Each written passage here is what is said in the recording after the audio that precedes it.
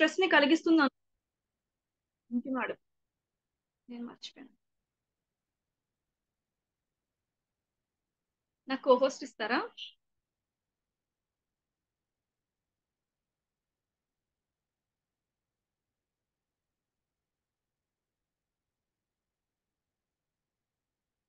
So అసలు actually what is happening అనేది తెలుస్తుంది. స్ట్రెస్కి కారణం ఎవరో అవతల పర్సన్ ఇలాంతా కాదు. మనం మనల్నే బ్లేమ్ చేసుకోవాలి బికాస్ మనం ఎలా ఆలోచిస్తున్నాం ఎలా తీసుకుంటున్నామో దాని వల్ల మాత్రమే మనం స్ట్రెస్ ఫీల్ అవుతున్నాం. అది ఎలా జరుగుతుంది అనేది ఇప్పుడు మీకు చెప్తాను నేను. అసలు మన బ్రెయిన్లోనే ఒక కమ్యూనికేషన్ మోడల్ అనేది ఒకటి జరుగుతుందండి. కమ్యూనికేషన్ మోడల్ అది ఎలా అవుతుంది అంటే ఎక్స్టర్నల్గా కొంత ఇన్ఫర్మేషన్ ఉంది. మనం ఏదో చూస్తున్నాము ఏదో వింటున్నాము ఏదో స్పర్శిస్తున్నాము something is happening outside of you okay దాన్ని మనం చూసినప్పుడు ఆ అవుట్ సైడ్ ఇన్ఫర్మేషన్ ఏదైతే ఉందో అది ఎగ్జాక్ట్గా మనం ఏది చూస్తున్నామో దాన్ని మనం కరెక్ట్గా చూసిందంతా చెప్పగలుగుతున్నామా? ఫర్ ఎగ్జాంపుల్ మీరు ఒక మూవీ చూసారు అనుకోండి ఒక ఏదైనా ఒక క్లిప్ చూసారు మీరు. ఆ చూసింది ఎవరైతే డైరెక్ట్ చేశారో వాళ్ళ వ్యూస్ మీ వ్యూస్ ఒకలాగే ఉంటాయా? No right in the same way బయట ఏదైతే జరుగుతుందో ఆ ఎక్స్టర్నల్ ఇన్ఫర్మేషన్ ఏదైతే ఉందో అది జరిగేది ఒకటి మన బ్రెయిన్లోకి వచ్చేది ఒకటి. అది ఎలా అంటారా? బయట ఏదో ఒక విషయం జరుగుతుంది మన సెన్సెస్లో నుంచి లోపలికి ఎంటర్ అయింది. ఎంటర్ అవుతున్నప్పుడు ఏం జరుగుతుంది తెలుసా? మీరు ఎలాంటి వాళ్ళు మీ యొక్క థాట్స్ ఎలా ఉన్నాయి మీ బిలీఫ్స్ ఎలా ఉన్నాయి మీరు ఏ రీజన్కి సంబంధించిన వాళ్ళు మీ చిన్నప్పటి నుంచి మీరు ఎలాంటి సిచ్యువేషన్స్ని ఫేస్ చేశారు వీటన్నిటిని బేస్ చేసుకొని మన బాడీలోని కొన్ని ఎక్స్పీరియన్సెస్ ఆల్రెడీ షేర్ అయి ఉన్నాయి కదా? మన పాస్ట్ ఎక్స్పీరియన్సెస్ కావచ్చు మన బిలీఫ్స్ మన థాట్స్ ఇవన్నిటిని బేస్ చేసుకొని మన బాడీలోని ప్రతి ఆర్గాన్లోని కొన్ని సెల్స్ కొన్ని మిలియన్స్ ఆఫ్ సెల్స్ ఉన్నాయి కదా మనకి బాడీలో? ప్రతి సెల్లోని ఒక ఎక్స్పీరియన్స్ ఫామ్లోని షేర్ స్టోర్ అయిపోయి ఉండిపోయా మనకి. దీన్ని బేస్ చేసుకొని మనం విన్నది కానీ చూసింది కానీ ఫిల్టర్ అయ్యి లోపలికి వస్తాయి మన బ్రెయిన్లోకి ఎగ్జాక్ట్గా మనం ఏం చూస్తున్నామో అది లోపలికి రాదు. డిలీషన్ డిస్టోర్షన్ జనరలైజేషన్ అనే త్రీ ఫిల్టర్స్ ఉంటాయి మన బ్రెయిన్లో అది ఏమవుతుంది అంటే ఈ డిలీషన్ ఫిల్టర్ ఏం చేస్తుంది తెలుసా? మీరు ఏదో విన్నారు కానీ అందులో సగం అది వదిలేస్తుంది. సగం మాత్రమే మీ బ్రెయిన్లోకి వెళ్తుంది. అక్కడ ప్రాబ్లం వస్తుంది. డిస్టోర్షన్ ఏం చేస్తుందో తెలుసా? మీరు ఏదో విన్నారు కానీ మీరు ఎవరి దగ్గర నుంచి అయితే విన్నారో ఆ మనిషి మీద మీకు ప్రేమ లేదు. ఆ మనిషి అంటే మీకు ఇష్టమే లేదు. సో మీరు ఏం విన్నారో అది కంప్లీట్గా ట్విస్ట్ అయిపోయి ఎం గా చెప్పింది మీకు డబ్ల్యూగా కనిపిస్తుంది. మీకు అర్థమవుతుందా? కంప్లీట్గా ట్విస్ట్ అయిపోతుంది అనమాట ఇన్ఫర్మేషన్ అంతా కూడా. అవతల వ్యక్తి పట్ల మీకు ఎలాంటి ఎమోషన్స్ ఉన్నాయి? ఆ వ్యక్తి ఇష్టమా? ఆ వ్యక్తి మీద మీకు ప్రేమ ఉందా కోపం ఉందా దాన్ని బేస్ చేసుకొని ఈ డిస్టార్షన్లోని ఫిల్టర్ అయ్యి ఇన్ఫర్మేషన్ మీ దగ్గరకు వస్తుంది. జనరలైజేషన్ అంటే ఏంటి? ఎప్పుడో ఒక్కసారి ఆ పక్క వ్యక్తితో మనకి గొడవ అవ్వచ్చు. కానీ ప్రతిసారి మనం వాడు మంచిగా మనతో వచ్చి కలవాలని ట్రై చేస్తున్నా కూడా మనం ఏం చేస్తాం ఇక్కడ?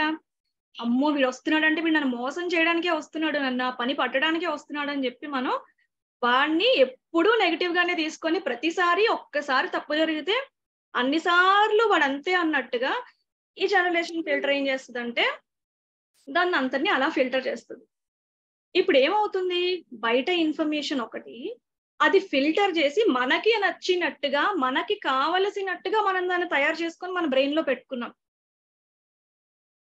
సో మనకి ఏదైతే మన బ్రెయిన్లో ప్రాసెస్ అయ్యిందో ఇది something is different from what we are experienced. బయట చూసింది ఒకటి మనం ఎక్స్పీరియన్స్ చేసింది మనం మన దాంట్లో ప్రాసెస్ చేసుకొని పెట్టుకున్నది ఒకటి. సో ఇక్కడ మనకి మెయిన్ ప్రాబ్లం అనేది స్టార్ట్ అవుతుంది. యాక్చువల్గా జరిగిన దానికి మనం మనం చేసుకున్న దానికి ఎంత డిఫరెన్స్ ఉంది కాబట్టి మనం ఈ యొక్క స్ట్రెస్ని ఫీల్ అవుతాం. ఇలా మన మైండ్లోనే ఒక మ్యాప్ లా స్టోర్ అవుతుంది అనమాట దాన్ని ఏమంటామంటే మ్యాప్ అంటాం. ఈ వర్డ్ గుర్తుపెట్టుకోండి. మ్యాప్ అంటాం మనం. సో ఇలా మ్యాప్గా ఫామ్ అయిన ఆ డేటా అంతా కూడా ఆ తర్వాత స్టేట్ కింద మారుతుంది. అంటే మనం ఏదైతే ఇన్ఫర్మేషన్ని ప్రాసెస్ చేసుకొని మన బ్రెయిన్లో పెట్టుకున్నామో అదే మెయిన్ మన నెక్స్ట్ మన మెంటల్ స్టేట్కి కారణం మన స్ట్రెస్కి కారణం.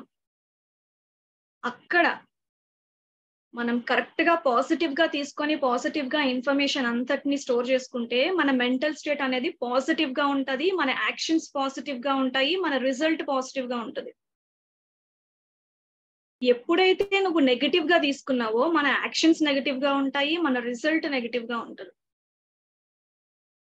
సో ఎప్పుడైతే నెగిటివ్గా అయిందో మెంటల్ స్టేట్ ఏమవుతుంది ఆబ్వియస్గా అక్కడ? స్ట్రెస్ క్రియేట్ అవుతుంది. స్ట్రెస్ క్రియేట్ అవుతాయి అంటే ఏమవుతుంది? దాన్ని అన్రిసోర్స్ఫుల్ స్టేట్ అంటామండి. అన్రిసోర్స్ఫుల్ స్టేట్ అంటాం. ఆ స్ట్రెస్ని క్రియేట్ అవ్వటాన్ని అన్రిసోర్స్ఫుల్ స్టేట్ అంటాం. అదే హ్యాపీగా ఉంటే రిసోర్స్ఫుల్ స్టేట్ అంటాం. ఈ అన్రిసోర్స్ఫుల్ స్టేట్లోకి వెళ్ళటం వల్ల మన బాడీలోని సాడ్నెస్ అనేది స్టార్ట్ అయిపోతుంది. మనం స్ట్రెస్ని ఫీల్ అవుతున్నాం మన ఎమోషన్స్లో అయిపోతున్నాయి మనం భయపడుతున్నాం మనం కోప్పడుతున్నాం. ఇవన్నీ ఏంటి అంటే అన్రిసోర్స్ఫుల్ స్టేట్లోని ఉన్న మన యొక్క ఎమోషన్స్ అక్కడ ఇలా ఉండడం వల్ల మన బాడీలో సాడ్ హార్మోన్స్ రిలీజ్ అవుతాయి. సాడ్ హార్మోన్స్ అంటే ఎవరికైనా తెలుసా? ఏ హార్మోన్స్ని సాడ్ హార్మోన్స్ అంటారు?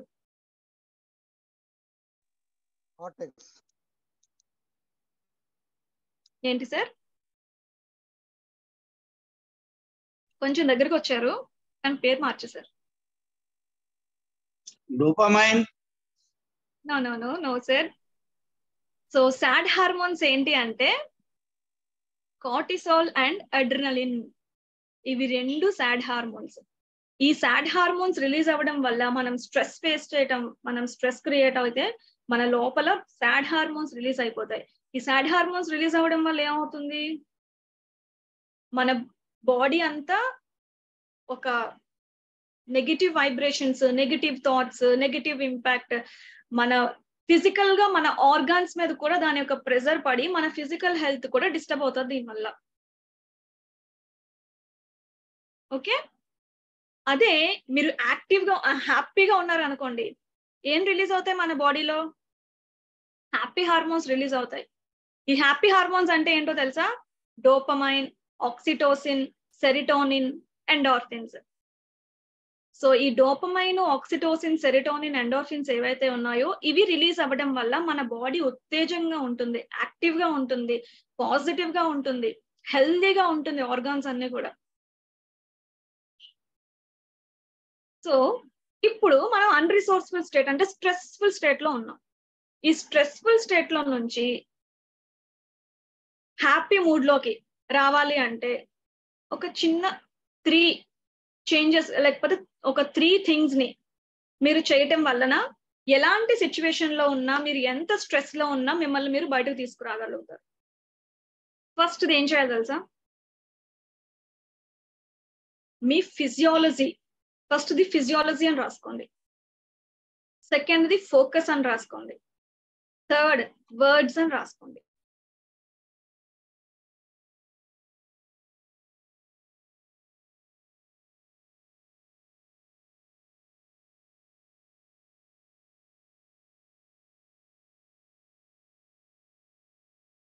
సో ఫిజియాలజీ అంటే ఏంటంటే మీరున్న స్టేట్ నుంచి మీ స్ట్రెస్ఫుల్ స్టేట్ నుంచి మీరు హ్యాపీగా హ్యాపీ స్టేట్లోకి వెళ్ళాలనుకుంటున్నారు రిసోర్స్ఫుల్ స్టేట్లోకి సో ఈ ఫిజియాలజీ అంటేనే మన బాడీ యొక్క ఫిజికల్గా మనం మనలో చేసుకునే చేంజెస్. సో ఇక్కడ మీరు మిమ్మల్ని మీరు ఎలా మార్చుకోవచ్చు? మీ అందరికీ సూపర్ మ్యాన్ తెలుసు కదండి? సూపర్ మ్యాన్ అందరికీ తెలిసే ఉంటుంది అందరికీ వినే ఉంటుంది. అరవింద్ అయితే ఎలా చేయొద్దున్నారు సో సూపర్ మ్యాన్ ఎలా నుంచుంటాడు అరవింద్? ఒకసారి చెప్పగలరా మీరు? Superman pose. ఎవరైనా చెప్ చూపిస్తారా సూపర్ మ్యాన్ పోజ్ ఎలా ఉంటుందో? నో. సో ఓకే మేబీ అయ్యి ఉండొచ్చు. సో ఇలా మన హ్యాండ్స్ని నుంచొని మన హిప్ మీద పెట్టి స్ట్రాంగ్గా బోల్డ్గా మనం ఇలా పైకి చూస్తూ నుంచోవాలి. సో మన స్టేట్ మన బాడీ ఎలా ఉన్నా కూడా మనం లేచి హ్యాపీగా మనం చాలా బోల్డ్గా ఎలా మనం చేతులు పెట్టి ఐఎమ్ సూపర్ ఉమెన్ అనుకొని మనం స్ట్రాంగ్గా ఒక వర్డ్ తీసుకొని ఒక అడుగు ముందేసి చూడండి. మీకు తెలియకుండానే మీలో ఒక బలం వచ్చేస్తుంది మీకు స్టేట్ ఆఫ్ మైండ్ మారుతుంది. అది వల్లీదేవి గారు చూడండి. అందరూ ఆవిడకి క్లాప్స్ కొట్టండి. అయ్యయ్యో వీడియో ఆఫ్ చేస్తారు అండి ఓకే. సో ఇది ఒకటి. నెక్స్ట్ ఏం చేయొచ్చు అంటే sky walk sky walk sky walk అంటే ఎంత మందికి తెలుసు? ఎప్పుడైనా విన్నారా మీరు స్కై వాక్ అంటే? పేరు ఎప్పుడైనా విన్నారా?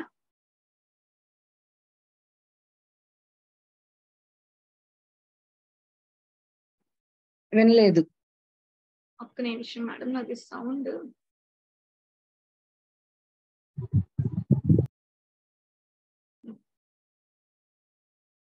ఓకే. ఈ స్కై వాక్ అంటే ఏంటంటే ఆకాశ నడక.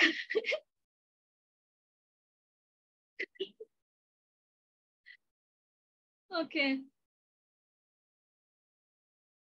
సో స్కై వాక్ అంటే ఏంటి అంటే జస్ట్ మనం హెడ్ని బ్యాక్కి పెట్టి స్కైని చూస్తూ నడవాలి. ఓకే? దాన్ని మనం స్కై వాక్ అంటాము. ఇది చాలా ఎఫెక్టివ్గా పనిచేస్తుందండి. దీని వల్ల ఇలా మనం హెడ్ బ్యాక్ పెట్టి నడవటం వల్ల మన యొక్క న్యూరోన్స్ డైరెక్ట్గా కనెక్ట్ అయి ఉంటాయి నర్వ్స్ అనేవి బ్రెయిన్కి. సో మన బ్రెయిన్ యాక్టివేట్ అవుతుంది. మీ అందరికీ మేడ ఉండి మేడకి చుట్టూ ప్రహారీ ఉంటే గనక మేడ మీద చేయండి. ఒక టెన్ మినిట్స్ మరి టెన్ మినిట్స్ కంటే ఎక్కువ చేయకూడదు దీన్ని. ఒక టెన్ మినిట్స్ పాటు ప్రతిరోజు స్కైని చూడటం వల్ల అంటే sky or moon maybe Srikanth గారు హెడ్ని ఇలా పైకి పెట్టి మరి చీకట్లో మూన్ వచ్చినప్పుడు చేస్తే కొంచెం కష్టమేమో తన్నుకొని పడిపోతారు. స్కై ఉన్న సన్ ఉన్నప్పుడే చేయండి మాక్సిమం. సో ఇలా పైకి ఇలా పెట్టి మీరు నడుస్తూ ఉండాలి ఫ్రంట్కి బ్యాక్కి నడవటం వల్ల మీ బ్రెయిన్ అనేది యాక్టివ్గా అవుతుంది. మన స్టేట్ ఆఫ్ మైండ్ అనేది మారుతుంది. రిలాక్సేషన్ వస్తుంది. ఇంకొకటి. మీ అందరికీ మీ అందరు మీలో ఎంతమంది డాన్సర్స్ ఉన్నారు?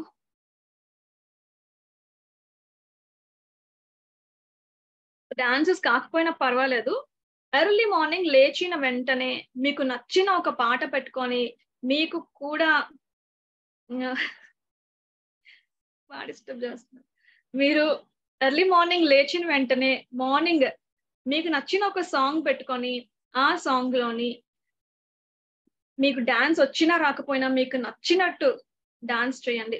సో అలా చేయటం వల్ల మీలో ఉన్న నెగిటివ్ ఎనర్జీస్ అన్ని రిమూవ్ అయిపోతాయి. మీరు ఏదో కొత్తగా చేస్తున్నారు కొత్త యాక్టివిటీ చేస్తున్నారు హ్యాపీ మూడ్తో చేస్తున్నారు. దానివల్ల ఏమవుతుంది అంటే మీ యొక్క మైండ్ అంతా కూడా పాజిటివ్గా అవుతుంది. సో మనలో ఉన్న నెగిటివ్స్ అన్ని కూడా పైకి వెళ్ళిపోతాయి. మీకు తెలుసా అందరికి గంపాస రోజు జుంబా డాన్స్ చేస్తారు మార్నింగ్ రాజా గణేష్ గారు కూడా చేస్తారట. దానివల్ల ఏమవుతుంది అంటే మనం మన యొక్క ఫిజియాలజీని చేంజ్ చేసుకోవటం వల్ల మనం హ్యాపీ మూడ్లోకి వెళ్ళగలుగుతాం. ప్రతిరోజు ప్రతిసారి స్ట్రెస్ ఫీల్ అయినప్పుడు ఏదో ఒక చిన్న మనలో చిన్న చిన్న మార్పులు ఫిజికల్గా చేసుకోవటం వల్ల మనం ఆ స్ట్రెస్ మూడ్ నుంచి కొంచెం మనల్ని మనం డీవియేట్ చేసుకొని మంచిగా అవ్వగలుగుతాం. హ్యాపీ మూడ్లోకి రాగలుగుతాం.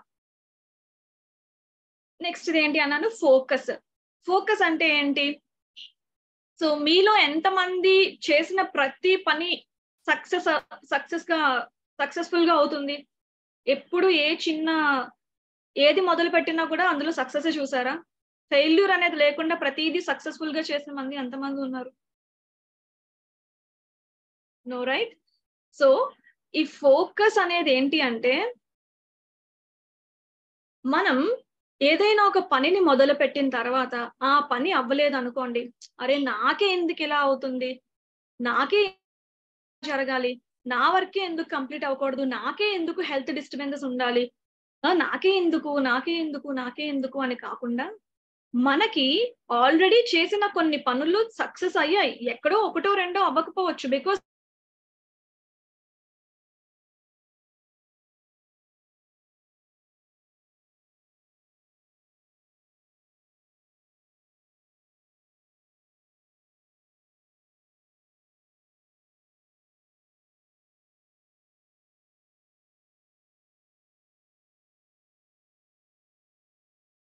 వాటిని మీరు తలుచుకొని మీ యొక్క ఫోకస్ని షిఫ్ట్ చేయడం ద్వారా మీ యొక్క స్ట్రెస్ అనేది తగ్గుతుంది. ఇక్కడ మనకు ఒక ప్రీ సపోజిషన్ ఉంటుందండి. ఏంటి అంటే every failure is a feedback. అంటే మీరు ఎక్కడ ఫెయిల్ అయినా కూడా దాన్ని ఒక ఫీడ్బ్యాక్గా తీసుకొని అక్కడ నుంచి మళ్ళీ మీరు ఎలా స్టార్ట్ చేయాలి అంటే పాసిబిలిటీస్ అన్ని రాసుకొని మళ్ళీ మన లైఫ్ని మన యొక్క ఆ పనిని ఇంకా ఎలా చేయొచ్చు? లేదు అంటే అది మీకు కాదు అది మీకు సంబంధించింది కాదు అని దాన్ని వదిలేసి ఇంకేదైనా ట్రై చేయాలి. అంతేకాని రాని దాని కోసం పట్టుకొని దాని వల్లే ఎలా అవుతుంది నాకే ఎందుకు ఎలా అవుతుంది అసలు మిగతా వాళ్ళందరితోనే కంపారిజన్స్ చేసేసుకొని మనం మన యొక్క స్ట్రెస్ని ఎక్కువ క్రియేట్ చేసుకోకూడదు. ఓకే? నెక్స్ట్ థర్డ్ వన్ ఏం చెప్పాను? వర్డ్స్ అని చెప్పాను. అంటే మనము కొంతమంది మాటల వల్ల కూడా చాలా స్ట్రెస్ ఫీల్ అవుతాం కదా? కొన్ని కొంతమంది యాక్షన్స్ వల్ల కొంతమంది మాట్లాడే విధానం వల్ల మనం అది దాన్ని చాలా స్ట్రెస్గా తీసుకుంటాం. సో దాన్ని ఎలా మార్చుకోవచ్చు మనం అంటే ఇక్కడ మనకి సైకాలజీలో సబ్ మోడాలిటీస్ అనేవి ఉంటాయి ఎన్ఎల్పిలో. సబ్ మోడాలిటీస్ అనేది ఒక పెద్ద డిఫరెంట్ టాపిక్ బట్ ఇక్కడ నేను ఏం చెప్పాలనుకుంటున్నానంటే ఈ సబ్ మోడాలిటీస్ అంటే దేనికి సంబంధించినవి? అవతల వ్యక్తి మిమ్మల్ని తిడుతున్నాడు అనుకోండి. ఎవరైనా వచ్చి మీ బాసే వచ్చి అసలు మీ వర్క్ చేసే పద్ధతి ఏంటి? ఇదేనా? ఇలాగైనా వర్క్ చేస్తారు. అసలు మీకు ఎప్పుడు చెప్పాను? ఎప్పుడు కంప్లీట్ చేస్తున్నారని మీ మీద అరుస్తున్నారు అనుకోండి. So you have to think that వీడి ఫ్రస్ట్రేషన్ ఇక్కడ నా మీద కాదు. ఎక్స్టర్నల్గా ఏదో అయింది అతనికి. అతని కోపాన్ని ఇక్కడ తీసుకొచ్చి నా మీద చూపిస్తున్నాడు అని మీరు ఆలోచించగలగాలి. Try to think in that way ఆ విధంగా ఆలోచించండి. సో ఎక్కడో కోపాన్ని నా మీద చూపిస్తున్నారేమో అనుకోండి. లేదు. ఈ సబ్మొడాలిటీస్ అంటే ఏంటంటే అతను మిమ్మల్ని చూసి మీతో మాట్లాడుతున్నప్పుడు అతను ఒక కార్టూన్ క్యారెక్టర్ లా ఊహించుకోండి మీరు. ఒక ఫన్నీ క్యారెక్టర్ లాగా ఊహించుకోండి. లేదు అతను ఏంటి ఇంత ఇలా ఇలా చేయడం ఏంటి ఏంటి అని కోపంగా అరుస్తున్నారు అనుకోండి మీరు దాన్ని ఫాస్ట్ ఫార్వర్డ్లో ఊహించుకోండి.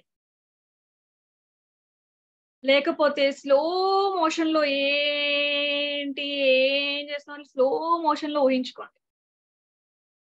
అతను తిడుతున్నప్పటికీ కూడా మీరు దాన్ని రిసీవ్ చేసుకుంటేనే అది మీకు ఎఫెక్ట్ అవుతుంది. అతను చెప్పేది మీరు రిసీవ్ చేసుకోకపోతే అది మనల్ని ఎఫెక్ట్ చెయ్యదు. మన స్ట్రెస్ ఫీల్ అవ్వ మనం బాధపడ మన ఎమోషన్స్ హర్ట్ అవ్వవు. సో అతను చెప్తున్నప్పుడు అతను ఒక కార్టూన్ క్యారెక్టర్ లాగా ఒక లేకపోతే ఒక చిన్న లిల్లీ పుట్ లాగా లేకపోతే ఒక పెద్ద జైంట్ లాగా అలా మీకు నచ్చినట్టుగా మీరు ఊహించుకోండి. ఆడియో పరంగా కానీ విజువల్ పరంగా కానీ ఫీలింగ్స్ పరంగా కానీ మీరు అతన్ని మార్చుకోవచ్చు. అదే అతన్ని మార్చడం అంటే అతని మిమ్మల్ని మీ దృష్టిలో అతన్ని మార్చొచ్చు. దాని ద్వారా మనం ఆ మనిషి వలన మనం ఎఫెక్ట్ అవ్వకుండా స్ట్రెస్ కాకుండా ఉంటాం అన్నమాట సో ఈ మూడు అర్థమయ్యాయా? అన్రిసోర్స్ఫుల్ స్టేట్ స్ట్రెస్ఫుల్ స్టేట్ నుంచి ఎలాగ మనం హ్యాపీ మూడ్లోకి చేంజ్ అవ్వాలి అనేది అందరికీ అర్థమైందా?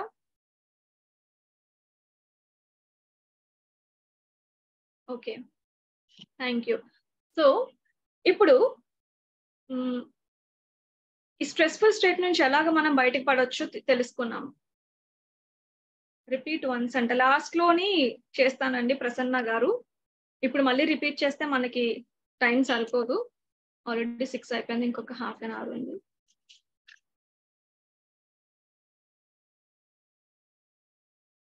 అలాగే మనం ఎప్పుడు కూడా మన సబ్ కాన్షియస్ మైండ్ ఏదైతే ఉందో మనకి తెలియకుండానే అది చేస్తూ ఉంటుంది అన్ని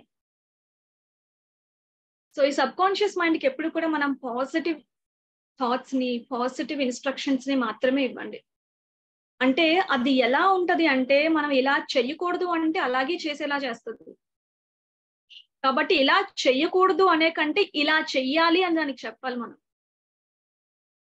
అలా చెప్పగలిగితే దాన్ని మనం మన కంట్రోల్లో ఉంచుకుంటే దాన్ని ఇందాక చెప్పాం కదా స్ట్రెస్ని ఎప్పుడు కూడా మన ఫ్రెండ్ లాగా మన కంట్రోల్లో ఉంచుకోవాలి తప్ప మన తలకి ఎక్కించుకోకూడదు. సో ఎప్పుడు కూడా మనం మన సబ్ కాన్షియస్ మైండ్కి ఇచ్చే ఇన్స్ట్రక్షన్స్ని కూడా పాజిటివ్గా ఇవ్వాలి. నేను ఈ పని చెయ్యాలి ఈ రోజు వర్క్ని సబ్మిట్ చేయాలి అంటే ఎట్టి పరిస్థితుల్లో ఈ రోజు ఈ రోజు ఈవినింగ్ కల్లా నేను ఈ వర్క్ని కంప్లీట్ చేయగలుగుతాను అని మీరు ఒక పాజిటివ్గా అనుకోండి. అది కంప్లీట్ అవుతుంది. అంతేకాని అమ్మో ఈ రోజు వర్క్ చేయాలి సబ్మిట్ చేయాలి అంటున్నారు. ఎన్ని మధ్యలో ఆటంకాలు వస్తాయో ఏంటో ఎవరు వచ్చి డిస్టర్బెన్స్ చేస్తారో ఏంటో అని మీరు ఇలా అనుకున్నారు అనుకోండి మీ మైండ్ ఆ విధంగానే ఎగ్జిక్యూట్ చేస్తది. మిమ్మల్ని అలాగే చేసేలాగా చేస్తుంది. మీకు డిస్టర్బెన్సెస్ అలాగే వస్తాయి. సో మీ సబ్ కాన్షియస్ మైండ్కి ఎప్పుడు కూడా ఇన్స్ట్రక్షన్స్ అన్ని పాజిటివ్గా ఇవ్వండి. పనులన్నీ పాజిటివ్గా అయిపోతే మీకు ఎలాంటి స్ట్రెస్ ఉండదు.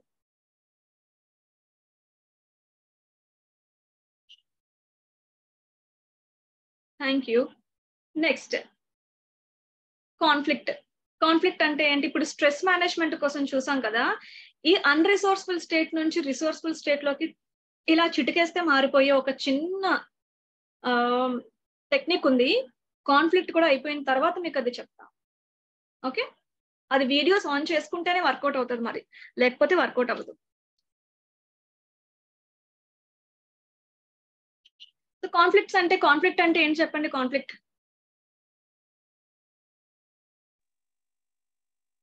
Opposing needs or desires in the mind. Exactly sir conflict అంటే ఏంటి? ఇద్దరు మనుషుల యొక్క డిఫరెంట్ ఆలోచనలు వాళ్ళ డిఫరెంట్ కోరికలు ఎవరిది కంప్లీట్ అవ్వకపోతే వాళ్ళకి కోపం వస్తుంది. ఆబ్వియస్గా వాళ్ళిద్దరి మధ్యన గొడవ స్టార్ట్ అయిపోతుంది.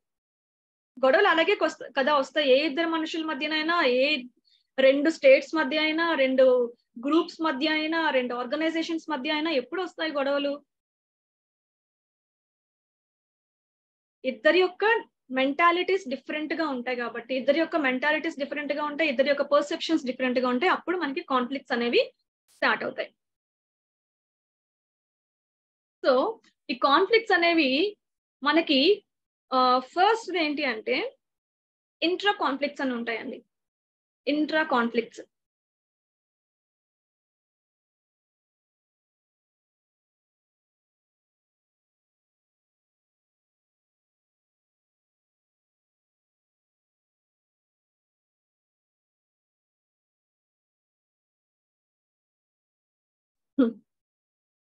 intra conflict intra అంటే ఏంటి అంటే ఒక టూ గ్రూప్స్ కో టూ ఆర్గనైజేషన్స్ కో టూ డిఫరెంట్ ఆర్గనైజేషన్స్కి ఒక టూ డిఫరెంట్ సెక్షన్స్కి అలా ఒక రెండు వాటికి సంబంధించిన దాన్ని ఇంట్రా అంటాం. ఓకే? సో ఈ ఇంట్రాలో ఏం జరుగుతుంది అంటే పోస్టర్ కాదు సార్ పీపీటీ ప్రెసెంటేషన్ లేదు.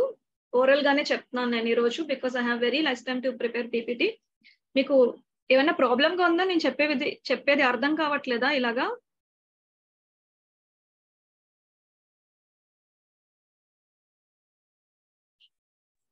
పీపీటీ కంటే ఎలా.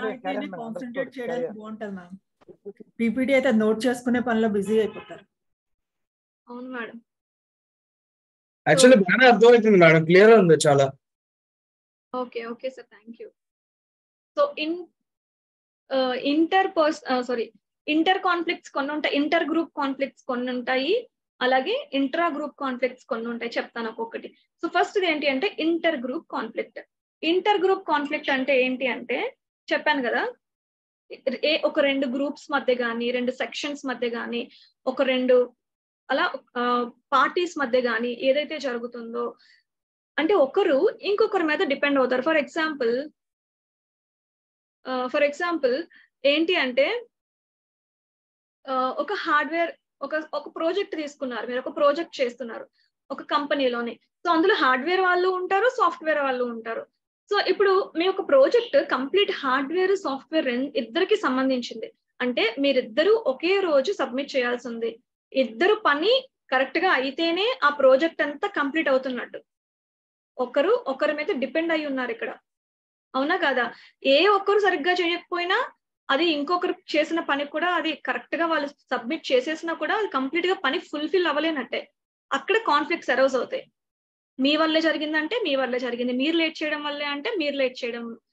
ఇలాగా అక్కడ కాన్ఫ్లిక్ట్స్ అనేవి అరేజ్ అవుతాయి అన్నమాట. దీన్ని మనం ఇంటర్ గ్రూప్ కాన్ఫ్లిక్ట్ అంటాం. Intra group conflict intra group conflict అంటే ఏంటి? ఒకే సెక్షన్లో ఒకే దాంట్లో. ఇప్పుడు ఒక సాఫ్ట్వేర్ వాళ్ళనే తీసుకోండి. ఒక ప్రాజెక్ట్ కంప్లీట్ చేయాలి అంటే ఫర్ ఎగ్జాంపుల్ అందులోనే ఒకరు ఒక రిసోర్స్ గ్యాదరింగ్ చేయాలి ఒకరేమో కోడింగ్ చేయాలి ఒకరు టెక్స్టింగ్ చేయాలి ఒకరేమో ప్రెజెంటేషన్ చేయాలనుకున్నాం. సో ఒక్కొక్కరు ఒక్కొక్క వర్క్ని డివైడ్ చేసుకున్నారు. చేసుకున్న తర్వాత ఒకడు వచ్చి కరెక్ట్గా ప్రెజెంటేషన్ టైంలో నాకు కూడా ప్రెజెంటేషన్ చేయాలనిపిస్తుంది నాకు కోడింగ్ వద్దు అంటారు. అక్కడ ఏమవుతుంది మన వ్యూస్ మనం మిగతా వాళ్ళకి చేయాలని ఉంది మనకి చేయాలని ఉంది. మనం ప్రెజెంటేషన్ చేయాలి. అట్ ద సేమ్ టైం వాళ్ళు వచ్చి కూడా నేనే ప్రెజెంటేషన్ చేస్తానని అంటారు. ఇక్కడ ఏం జరుగుతుంది? మన గ్రూప్లో వాళ్ళతోనే మనకి గొడవ వస్తుంది. దీన్ని ఇంట్రా గ్రూప్ కాన్ఫ్లిక్ట్ అంటాం.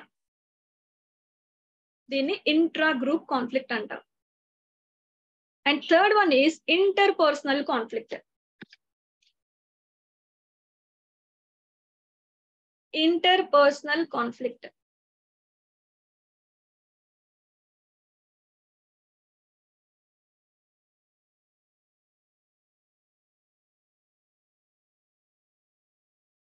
interpersonal conflict అంటే ఏంటంటే ఇద్దరి మధ్య నువ్వు నీ ఫ్రెండ్ లేదంటే రెండు పొలిటికల్ పార్టీ లీడర్స్ మధ్య సో ఇలా ఇద్దరు పర్సన్స్ మధ్య వన్ టు వన్ ఎప్పుడైతే కాన్ఫ్లిక్ట్స్ అరైజ్ అవుతాయో మన యొక్క ఐడియాస్ ఒకలా ఉంటాయి వాళ్ళ పర్సెప్షన్స్ ఒకలా ఉంటాయి మనం ఒకలా ఉంటాయి. మనం ఎక్కడికైనా ఒక జర్నీకి వెళ్దామని ఫిక్స్ చేసుకున్నప్పుడు అరే ఈ రోడ్ అయితే బాగుంటుందని నేను అంటాను లేదు ఈ రోడ్లో వెళ్తే షార్ట్ కట్ ఉంటుందని వాళ్ళు అంటారు. అక్కడ ఏమవుతుంది? మళ్ళీ again it leads to conflict దాన్ని ఇంటర్ పర్సనల్ కాన్ఫ్లిక్ట్ అంటాం. ఫోర్త్ వన్ ఏంటి? Intra personal conflict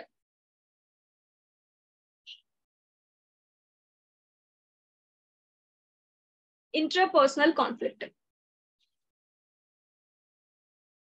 so ఈ ఇంట్రా పర్సనల్ కాన్ఫ్లిక్ట్ అంటే ఏంటంటే మనలోని ఉన్న మనతోనే మనకి గొడవ.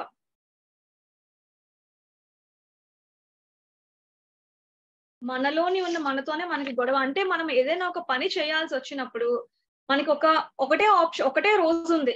కానీ అదే రోజు నువ్వు అర్జెంట్గా బాస్ దగ్గర నుంచి కాల్ వచ్చి ఆఫీస్కి వెళ్ళాల్సి ఉంది. అట్ ద సేమ్ టైం అదే రోజు మీ ఇంట్లో మీకు చాలా ఇష్టమైన వాళ్ళ బర్త్డే పార్టీ కూడా ఉంది. అక్కడ నువ్వు ఏది డిసైడ్ చేసుకోవాలి? ఏ ఆప్షన్ని నువ్వు చూస్ చేసుకోవాలి? ఇద ఇదా అదా?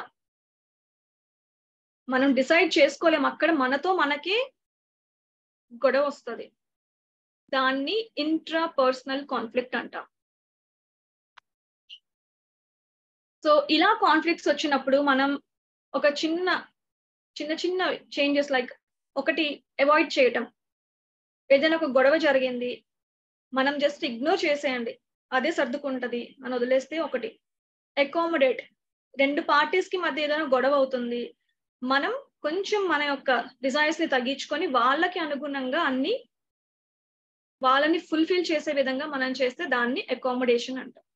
థర్డ్ వన్ ఏంటి అంటే కాంప్రమైజింగ్ అంటే ఏ ఇద్దరు పార్టీస్ మధ్య ఏ ఇద్దరు ఆర్గనైజేషన్స్ మధ్య ఏ రెండు గ్రూప్స్ మధ్య గొడవలు వస్తే ఇద్దరు కూర్చొని నువ్వు కొన్నిట్లో తగ్గు నేను కొన్నిట్లో తగ్గుతాను అని ఇద్దరు కాంప్రమైజ్ అయిపోవడమే ఈ కాంప్రమైజింగ్ అనమాట ఒక చిన్న వీడియోని ప్లే చేస్తాను. చూడండి ఫన్నీగా ఉంటుంది.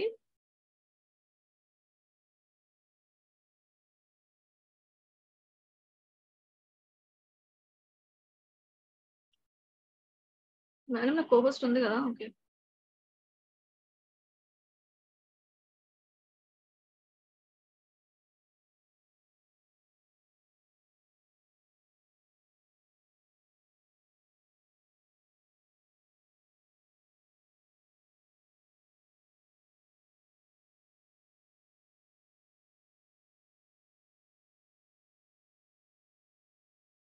కాన్ఫ్లిక్ట్ మేనేజ్మెంట్కి సంబంధించి ఒక చిన్న కార్టూన్ వీడియో మనం దీని నుంచి ఏం నేర్చుకోవచ్చు ఎవరైనా హ్యాండ్ రైస్ చేసి చెప్పాలి. అయిపోయిన తర్వాత.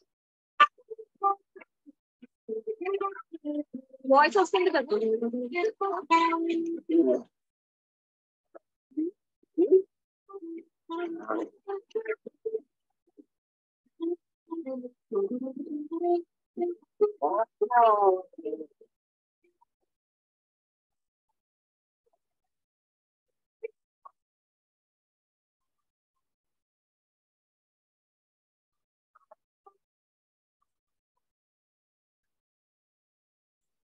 ఎస్ మ్యామ్ వాయిస్ క్లియర్ లేదు.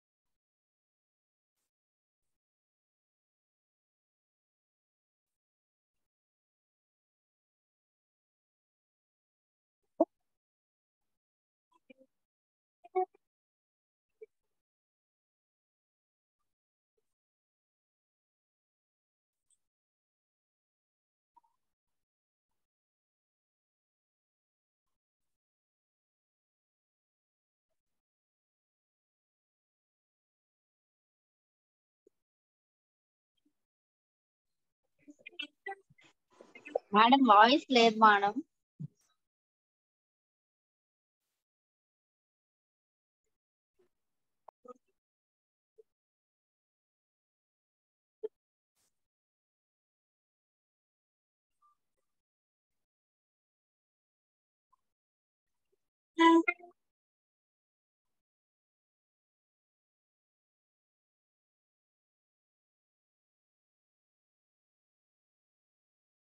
On adapted mind reading, stories are designed to build vocabulary. So ఏం అర్థమైంది మీకు ఈ కార్టూన్ వీడియో నుంచి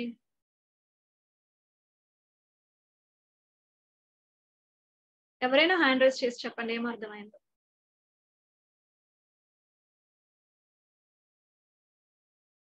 చెప్పండి మేడం రజనీ గారు ఫస్ట్ వాళ్ళిద్దరేమో గొడవ పడుతున్నారు ఎలా వెళ్ళాలి అనే దాని గురించి అసలు ఏం ఆలోచించలేదు. పక్క వాళ్ళు చెప్తున్నా కూడా నువ్వేంటి చెప్పేది అనే దాని గురించి చేశారు.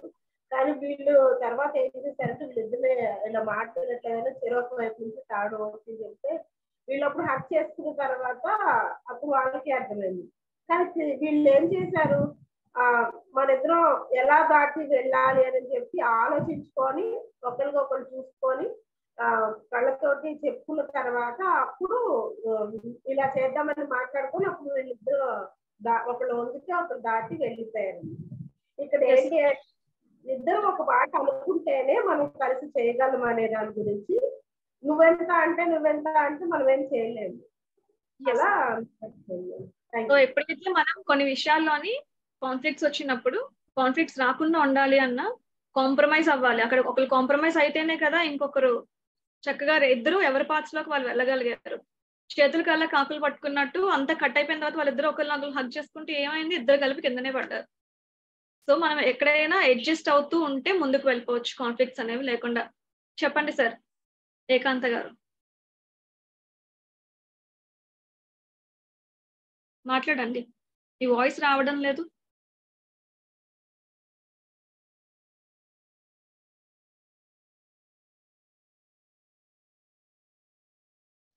ఇద్దరి కొట్లాటంలో మూడవ వాడికి లాభం అయిందని అర్థం. అలా కూడా అనుకోవచ్చు. సో ఇదొక చిన్న వీడియో దీని నుంచి మనం సార్ మీరు మ్యూట్ అయిపోండి. సో దిస్ ఈస్ హౌ మనం కాన్ఫ్లిక్ట్స్ మేనేజ్ చేసుకోవచ్చు. ఇప్పుడు ఒక మంచి టెక్నిక్ చెప్తానని చెప్పాను కదా. స్ట్రెస్ మీరు ఎప్పుడైతే స్ట్రెస్ ఫీల్ అవుతున్నారో మీరు జస్ట్ దీన్ని వాడటం వల్ల మీ స్ట్రెస్ఫుల్ స్టేట్ నుంచి మీరు ఏ స్టేట్లోకి అయితే వెళ్ళాలనుకుంటున్నారు?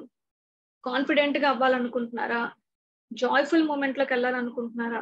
హ్యాపీగా ఉండాలనుకుంటున్నారా అనేది ఒక పద్ధతి చెప్తాను. దీన్ని కనుక మీరు రోజు ప్రాక్టీస్ చేస్తే సింపుల్గా మీరు స్ట్రెస్ నుంచి బయటపడొచ్చు. అయితే ఫస్ట్ ఆఫ్ ఆల్ మీరు అందరూ కూడా వీడియోస్ ఆన్ చేసుకోవాలి దీనికి. లేదంటే వర్కౌట్ అవుతుంది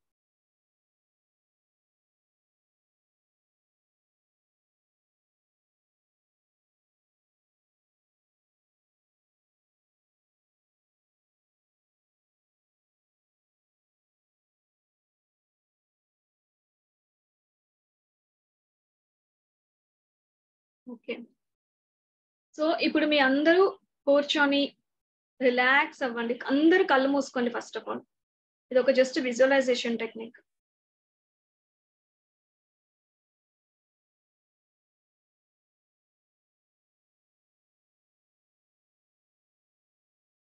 So all of you please close your eyes.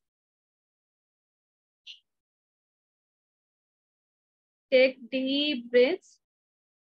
Inhale, exhale. So ఒక డీప్గా మీరు శ్వాస తీసుకొని మళ్ళీ నెమ్మదిగా ఆ శ్వాసను అంతటిని బయటకు వదిలేసేయండి. అలా త్రీ టైమ్స్ రిపీట్ చేయండి. ఇన్హేల్ ఎక్సేల్ ఇలా త్రీ టైమ్స్ చేసిన తర్వాత మీ బాడీ అంతటిని మీ యొక్క ఫస్ట్ మీ హెడ్ని రిలాక్స్ చేయండి. యువర్ హెడ్ ఈస్ రిలాక్సింగ్ అందరు కళ్ళు మూసుకోండి సార్ మీ యొక్క హెడ్ అంతా కూడా రిలాక్స్ అవుతుంది. మీ యొక్క కళ్ళు మీ యొక్క ఫేస్ అంతా రిలాక్స్ రిలాక్స్ ఆ తర్వాత మీ షోల్డర్స్ అన్ని కూడా రిలాక్స్ అవుతున్నాయి. మీ షోల్డర్స్ మొత్తం రిలాక్స్ అవుతున్నాయి. స్ట్రెస్ అంతా బయటకు వెళ్ళిపోతుంది. మీరు మార్నింగ్ నుంచి ఏదైతే ఫేస్ చేశారో ఆ స్ట్రెస్ అంతా కూడా బయటకు వెళ్ళిపోయింది. మీ యొక్క షోల్డర్స్ అన్ని కూడా రిలాక్స్ అయిపోతున్నాయి. మీ బాడీ మీ లెగ్స్ మీ లెగ్స్లో ఉన్న ఆ స్ట్రెస్ఫుల్ మూమెంట్స్ మీరు మార్నింగ్ నుంచి నడిచినవి అవన్నీ కూడా వదిలేసి మొత్తం కాళ్ళన్నీ కూడా చాలా ఎనర్జెటిక్గా అవుతున్నాయి. మొత్తం రిలాక్స్ అవుతున్నాయి. మీ యొక్క హీల్స్ కూడా రిలాక్స్ అవుతున్నాయి. రిలాక్స్. రిలాక్స్ బాడీ మొత్తం మీ హ్యాండ్స్ మీ ఫింగర్స్ మీ టోస్ అంతా కూడా మంచిగా బాడీ అంతా రిలాక్స్ అయిపోయింది. ఇప్పుడు మీరు ఎక్కడైతే స్ట్రెస్ ఫీల్ అవుతున్నారో మీరు హ్యాపీగా ఉండాలనుకుంటున్నారా కాన్ఫిడెంట్గా ఉండాలనుకుంటున్నారో ఫస్ట్ డిసైడ్ అవ్వండి. కళ్ళు మూసుకొనే ఉండండి నేను చెప్పే వరకు. మీరు హ్యాపీగా వెళ్ళ అంటే మీ యొక్క మూడ్ని హ్యాపీ మూమెంట్లోకి చేంజ్ చేసుకోవాలనుకుంటున్నారా? లేకపోతే మీ యొక్క మూడ్ని కాన్ఫిడెంట్ మూడ్లోకి చేంజ్ చేసుకోవాలనుకుంటున్నారో ఇక్కడ డిసైడ్ అయిపోండి. ఫర్ ఎగ్జాంపుల్ మీరు హ్యాపీగా ఉండాలనుకుంటున్నారు. మీరు స్ట్రెస్ మూమెంట్స్లో ఉన్నారు. ఆ స్ట్రెస్ అంతటిని వదిలేసి మీరు ఒక హ్యాపీ మూమెంట్లోకి వెళ్ళాలనుకుంటున్నారు. సో మీ అందరూ లైఫ్లోని మీకు నచ్చిన మీరు చాలా హ్యాపీగా ఫీల్ అయిన ఒక మూమెంట్ ఏదో ఉండే ఉంటది కదా మీకు తలుచుకోగానే చాలా సంతోషాన్ని ఇచ్చిన మన మానసికంగా చాలా ఆనందాన్ని కలిగించే ఒక హ్యాపీ మూమెంట్ని తలుచుకోండి. దాన్ని ఫీల్ అవ్వండి మొత్తం. ఆ రోజు మీరు ఎలాంటి డ్రెస్ వేసుకున్నారు మీ యొక్క ఫేస్లో ఉన్న ఫీలింగ్స్ ఎలా ఉన్నాయి మీ యొక్క మాటలు ఏ విధంగా మాట్లాడుతున్నారు మీరు ఎలా కనిపిస్తున్నారు? అందరూ మిమ్మల్ని ఎలా ప్రైజ్ చేస్తున్నారు? మిమ్మల్ని అందరూ ఎంత ప్రేమగా మాట్లాడుతున్నారు? మీతో ఇవన్నీ ఆలోచించండి. ఒకసారి ఇవన్నీ గుర్తు చేసుకోండి. వాటన్నిటిని మళ్ళీ ఒకసారి అనుభూతి చెందండి. సేమ్ ఆ రోజు మీకు ఎలా అయితే ఆనందాన్ని ఇచ్చిందో ఈ రోజు మీకు అదే ఆనందం మీ మొహంలో కనిపించాలి. అంత బాగా ఫీల్ అవ్వండి అవన్నీ. మీకు ఆ హ్యాపీనెస్ ఇచ్చే మూమెంట్స్ అన్నిటినీ కూడా మీరు ఒకసారి ఫీల్ అవ్వండి. ఆ ఎక్కడైతే మీరు మొత్తం మొత్తం ఆ సేమ్ ఇంతకు ముందు ఎలా అయితే ఫీల్ అయ్యారో అవన్నీ మీకు అనుభవిస్తున్నప్పుడు ఇప్పుడు మీ యొక్క ఫింగర్ని తీసుకొని మీ యొక్క బాడీలోని ఏదో ఒక పార్ట్ మీద అక్కడే రిపీటెడ్గా ఒక ఫైవ్ టెన్ టైమ్స్ ట్యాప్ చేయండి ఫింగర్తో. ఏదో ఒక చేతి మీద ఎక్కడో దగ్గర ఒక ప్లేస్ని సెలెక్ట్ చేయండి. మీకు ఈజీగా ఉండాలి. ట్యాప్ చేయండి. జస్ట్ ఒక ఫింగర్ని తీసుకొని ట్యాప్ చేయండి. ఫింగర్ తోనే ట్యాప్ చేయాలి. ఎస్ అమ్మాజీ మేడం కరెక్ట్గా చేస్తున్నారు. ఫింగర్ తోనే ట్యాప్ చేయండి. ప్రసన్న గారు కరెక్ట్గా చేస్తున్నారు. జస్ట్ ట్యాప్ చేయండి ఇలా. కంటిన్యూస్గా ఒకే ప్లేస్ తోని five to ten times tap చేయండి. సో ఇప్పుడు అందరూ కూడా కళ్ళుని నెమ్మదిగా విప్పండి.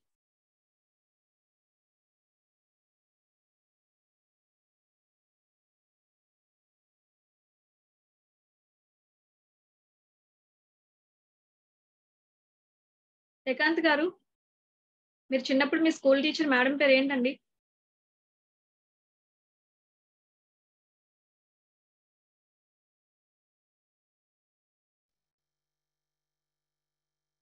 నళిని మేడం. ఒక జోక్ చెప్పండి ఎవరైనా. ఒక జోక్ ఎవరైనా ఒక జోక్ చెప్పగలరా ఫాస్ట్గా ఎవరైనా బాబా బాబా అని అరవగలరా అరవండి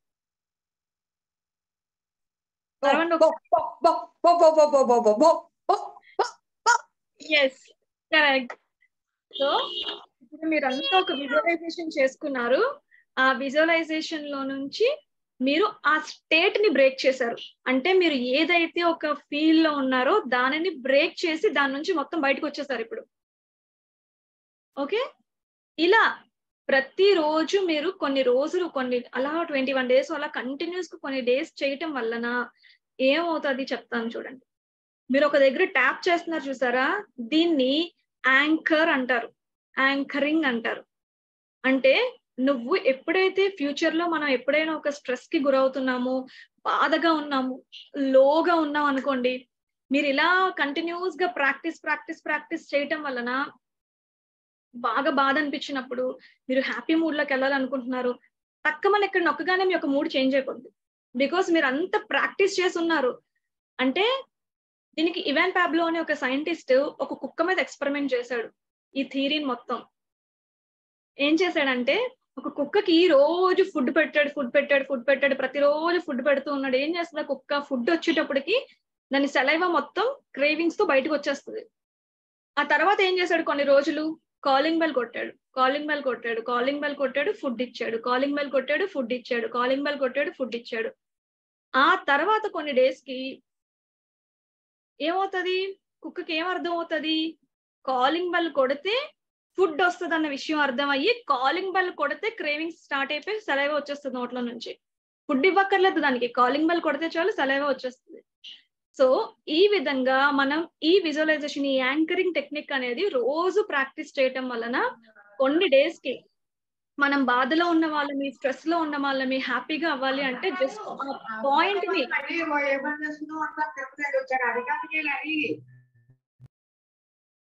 ఆ పాయింట్ మీద మనం జస్ట్ ప్రెస్ చేయగానే మన స్టేట్ ఆఫ్ మైండ్ అనేది వెంటనే చేంజ్ అయ్యి మనం హ్యాపీగా ఉండగలుగుతాం.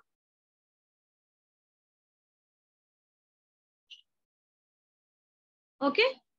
ఇది అందరూ ప్రాక్టీస్ చేస్తే గనక ఖచ్చితంగా మీరు హ్యాపీ స్టేట్లోకి వెళ్ళగలుగుతారు. సో రోజు మిమ్మల్ని మిమ్మల్ని మీరు హ్యాపీగా ఉంచుకోవడానికి ట్రై చేయండి. ఓకే? ఒక చిన్న సాంగ్ తోని నా సెషన్ని ఎండ్ చేస్తాను. అందరూ ఎంజాయ్ చేయండి ఈ సాంగ్ని మీ స్ట్రెస్ఫుల్ స్టేట్ నుంచి హ్యాపీ స్టేట్లో వచ్చి ఈ క్లాస్ని ఎండ్ అవ్వాలి అని నేను అనుకుంటున్నాను. సో మనందరికీ తెలిసిన పాటే బట్ అయినా మళ్ళీ కొత్తగా అందరూ ఫీల్ అవుదాం దాన్ని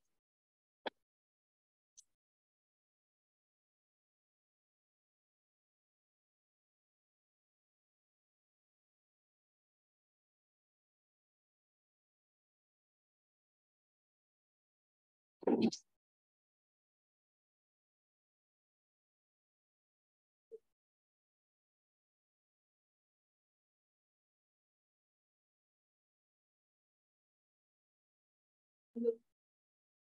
పాటని షేర్ చేస్తున్నాను.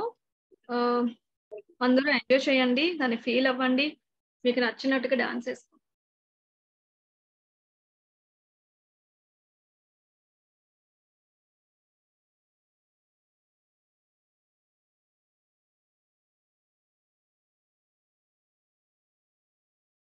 జాగ్రత్తగా వినండి లిరిక్స్ అన్ని.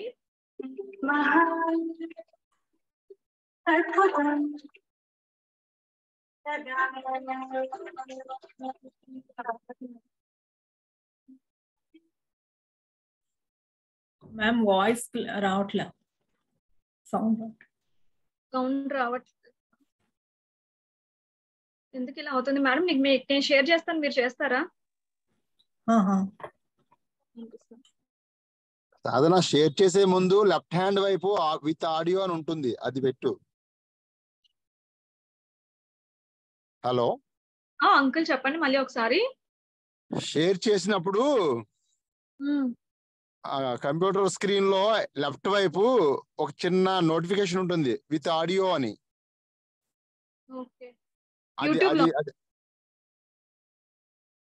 యూట్యూబ్లో కాదు స్క్రీన్ షేర్ స్క్రీనింగ్లో రావట్లేదు. రావట్లేదు అంకుల్ ఆప్షన్ ఏం కనిపించట్లేదు ఇక్కడ. Okay okay. లేదంటే అది ఎవరికైనా పంపించేసే లక్ష్మీ మేడం ప్లే చేస్తారు. వాయిస్ అయితే రావట్లేదు.